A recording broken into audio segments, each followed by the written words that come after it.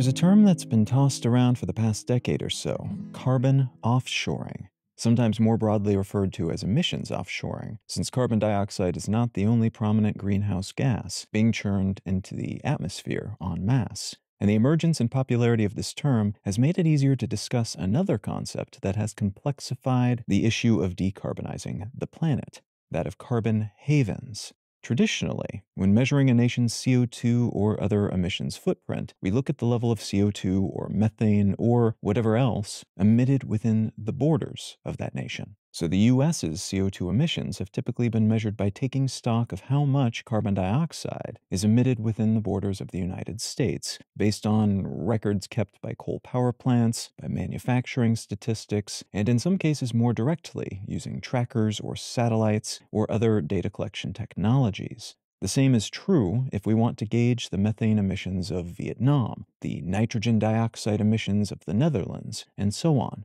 These measurements are imperfect, but they've generally been used because they're the best estimates we have, combining what we know to be true with what we believe to be true, and then adjusting a bit based on what we suspect we're not able to measure, but which is still relevant to the data and the decisions we will need to make based on that data. The trouble with this approach to measuring emissions which are often called statistically derived production and manufacturing related emissions, or something along those lines, is that in the interconnected world we live in, where globalization is on the decline due to conflicts between the US and China and Russia and the EU and other foundational economies, but is still for the time being, and probably for at least another decade or two, the default economic organizational model, Within that context, it's possible to keep the low emissions production and manufacturing activities within one's own borders and to then export the more polluting and emitting stuff to other countries. The archetypical example of this from the mid Cold War till the 20 teens was that of the United States moving a whole lot of its industrial and manufacturing capacity to Asia, primarily but not exclusively, to China, where these activities were concentrated in industrial areas, where the world's most carbon intensive and otherwise emitting activities have been centralized. This is part of what allowed China to grow wealthier so relatively quickly, but it came with a lot of downsides, including an ever expanding carbon and other emission and pollutant footprint. Businesses in the United States kept a lot of the low emissions stuff in country then, but continued to benefit from the overseas based, highly emitting effort, either owning the assets that were used in this way, completely or partially, or making deals with companies located in these far flung locales that locked in relationships so they were similar to ownership, giving them most of the benefits of running highly emitting endeavors themselves, but without the regulatory and perceptual downsides. This has allowed entities like Apple to pick one of countless companies that have enthusiastically engaged in this kind of offshoring activity to keep the higher paid design and development and management work in the United States while shuffling the dirtier and more manual labor intensive stuff to China and increasingly other nations like Vietnam as well. There's nothing inherently wrong with this kind of setup, and there are many benefits to this type of specialized globalization. Benefits for the sticker prices of products, but also for the slow expansion of knowledge and infrastructure, as long as those on the manual labor side of the equation are eventually able to benefit from those assets and that know how above and beyond the paychecks they earn for doing that labor, working their way up the value ladder over time but it can distort the numbers when we're trying to ascertain what sort of emissions are being produced where, as these carbon havens, places that are happy to pick up highly emitting work from other countries, moving it to their territory with all the pros and cons that entails, these smaller countries seem to have much higher emissions than would be justified by their income and overall human flourishing levels, while countries like the United States and the countries in the European Union and other wealthy governments are able to point at charts that show that their emissions are moving steadily downward. And there is some truth to that downward movement objectively, but not as much as some of the figures suggest, because in some cases, those emissions are being moved not eliminated. And that movement changes how we tabulate and categorize those emissions, but the end benefactor still tends to be the companies and consumers in wealthier nations at the expense of everyone else. It's an accounting trick, not a sustainability oriented innovation. What I'd like to talk about today is a new regulatory approach being deployed by the EU and how it might impact these sorts of relationships and measurement models moving forward.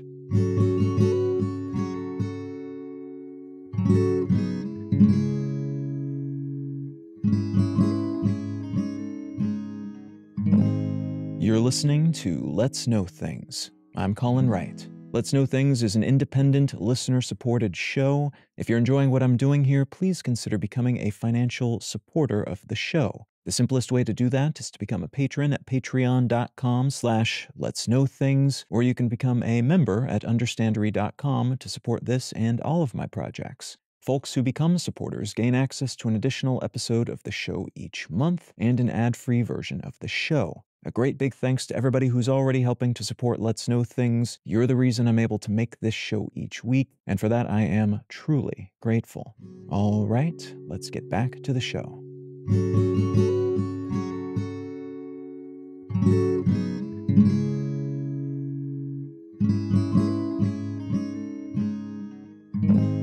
The concept of carbon leakage which is another way of referring to that aforementioned tendency to shift carbon intensive work from one country to another, allowing emissions to leak across borders and changing how we measure them as a consequence, has been on the European Commission's radar for a while now. It's been making plans to address this issue for over a decade. And in the years since those discussions began, there's been a shift in how most international organizations track emissions. The method I mentioned in the intro, that of tracking production and manufacturing numbers, is still used by many organizations and interests, especially those connected to industries that emit a lot, like those in the energy world, the concrete and steel manufacturing world, the agricultural world, and the world of construction all industries that, in aggregate, emit the lion's share of CO2 and methane, and all industries that consequently would very much like to tweak the numbers being used to shape the public and regulatory discussion about this problem, to make it look like their contributions are dropping faster than they are, and that's often accomplished by moving their higher emission activities from one location to another.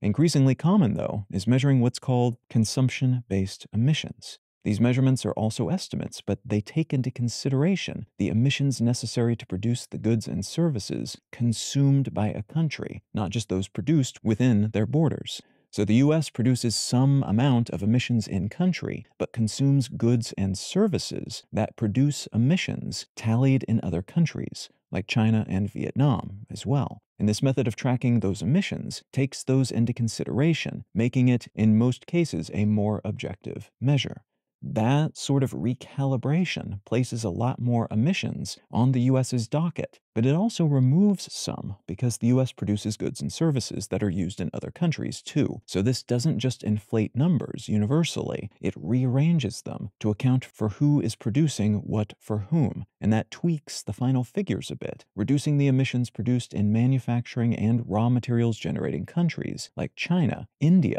and across parts of Central and Southeastern Asia, since they export a lot more than they consume, at least in terms of emissions generating goods and services, and it simultaneously increases the emissions attributed to wealthier nations like the US and those in the European Union. But the increase in the US is not a lot, something like 7%. And though the EU has a bigger gap between their production and consumption emissions, about 18%, the overall global gap here isn't as massive as you might suspect which implies the value added compared to consumption taking place is relatively balanced. It's not perfect because, as I just mentioned, the EU is consuming about 18% more emissions related value than it produces, and the US is consuming about 7% more. But many countries, like China, have near match figures between these two tabulation methods, which implies that the emissions leakage and carbon offshoring that were considered to be big threats several years ago have not exploded into the big issues we worried they would become in earlier years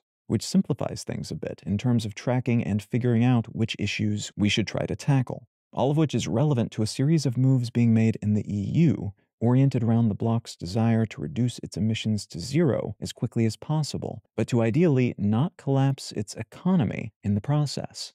This is a tricky balance to strike because tweaking incentives to reduce emissions usually means applying economic pressure on business entities operating within your legal framework, which in practice means raising costs, at least in the short term, for EU based businesses that emit and removing those costs for those who emit less over time. This approach is fine and good for the purpose of internalizing external costs, like emitting CO2 into the atmosphere, which traditionally has not had additional economic costs associated with it, and was thus generally ignored by businesses that keep their eyes on the bottom line, on money, at times to the exclusion of all other concerns. But as you make it more expensive for your local businesses to emit CO2 and other gases in a globalized world like the one we live in, that approach makes the products and services offered by international businesses, those not regulated by the EU Commission, more appealing in some ways, because those businesses can emit as much as they want without those additional costs. And that means their offerings will tend to be cheaper for essentially the same thing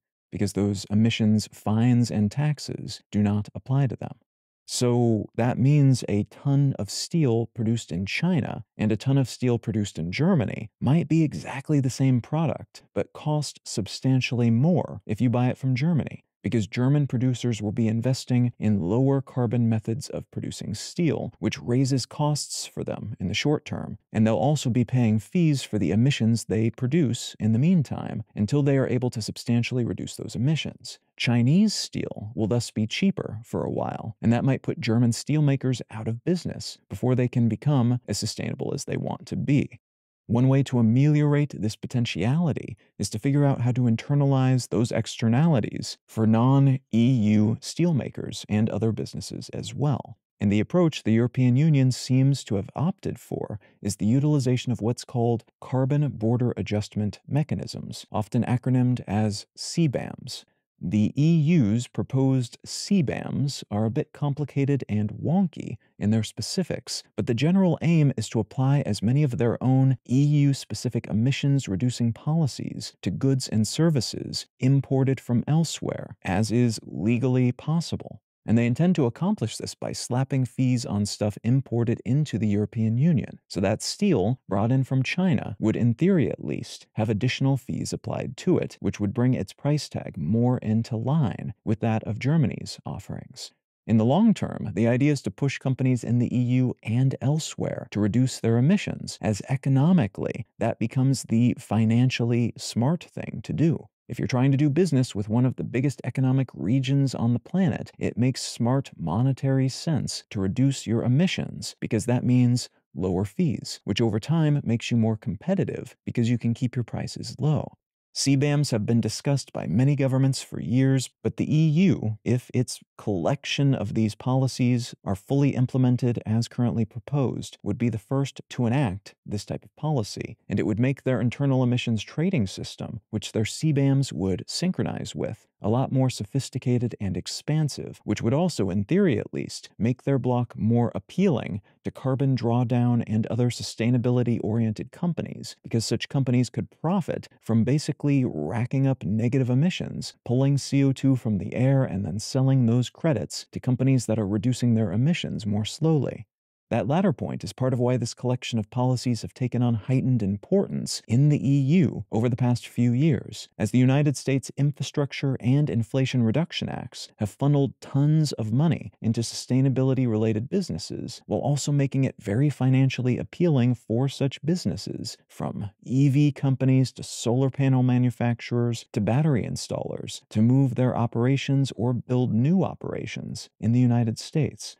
The EU does not want to be left behind on this, losing out on the burgeoning green gold rush to the United States. So they're trying to figure out ways to incentivize these companies and their investors to look toward Europe instead of North America, and this collection of policies could help them do that. Speaking of the United States, the Biden administration has been tossing around the idea of doing something similar, using CBAMs to incentivize relevant interests to move to the states, while also using their economic heft and appeal to nudge foreign interests into reducing their emissions. It would reportedly be a bit trickier for the US to implement these sorts of policies right now, lacking a federal carbon price upon which to base the fees incurred by companies that emit as they produce, which is something the EU already has in place. But it's not impossible, and it could speed up the development of that kind of carbon payment system stateside as well. We'll see, though. The political situation in the US might not allow for this kind of shift at the moment or ever. Stepping away from the big picture to refocus on the current EU plan, on a practical level, this plan is scheduled to go into effect on a transitional basis from late 2023 through 2025, a period during which emissions reporting systems would be implemented by importers of relevant goods, which would help set the stage for applying fees based on those tallied emissions beginning in 2026. Some EU entities would enjoy free emissions allowances until that moment, but those allowances would be phased out with the phase in of fees for foreign entities. And that timing is meant to keep things competitive by avoiding any favor for EU businesses once these regulations are fully in place. These CBAMs would initially apply to highly emitting sectors only, like those that produce cement, aluminum, fertilizers, iron and steel, and electricity. Over time, the EU could increase the scope of industries to which these policies apply, and it would reduce the number of emissions certificates available, so businesses can pay to emit more, but over time, the total volume of emissions that are allowed will go down,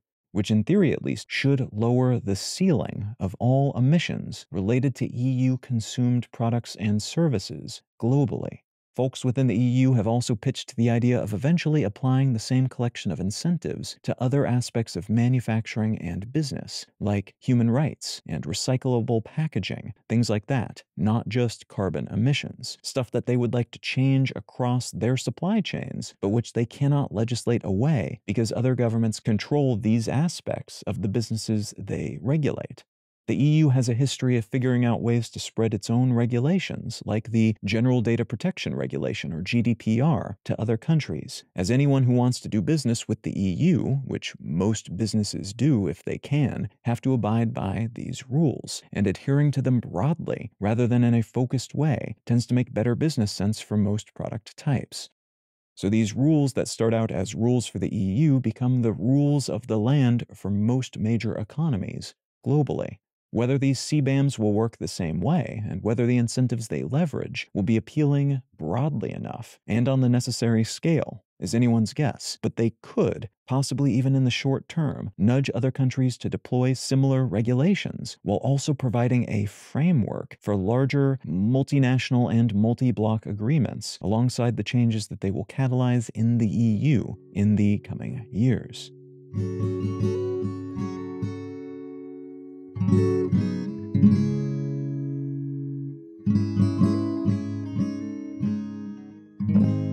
If you're enjoying Let's Know Things, consider becoming a supporter. The simplest way to do that is to become a patron at patreon.com slash let's know things or a member at understandary.com. And folks who support this show via either of those options gain access to an additional episode of the show each month and an ad-free version of the show. A great big thanks to everyone who's already helping to support Let's Know Things, and thank you in advance if you're considering doing so in the future. The book I'd like to recommend today is called Pests How Humans Create Animal Villains by Bethany Brookshire. This book is very focused in its topic. It discusses things that we consider to be pests, the nature of those various creatures, and why we consider them to be pests, and what it means to be a pest, and what happens practically once something is delineated as such. And the big thesis takeaway here is contained in the title that we create the concept of what it is to be a pest, and thus anything could be put into this category, which then allows us to treat these things in different ways than we would treat much beloved